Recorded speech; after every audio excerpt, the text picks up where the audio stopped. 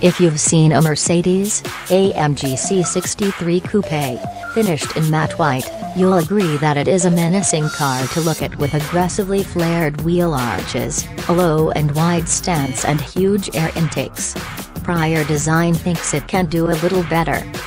The tuning company has just released a host of visual and performance-oriented modifications for the luxurious sports coupe that are so extreme, they would make even a new C63 Black Series look tame.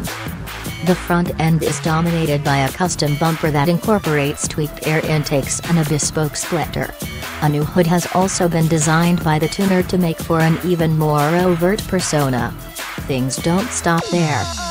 At the sides, prior design has flared the front and rear wheel arches even further while also installing a set of custom side skirts that can be joined by a number of different three-piece forged wheels.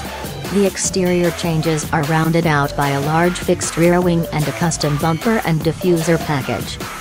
Elsewhere, C63 owners can work with the company to create a number of bespoke interior elements. Exhaust and suspension systems can also be ordered on request.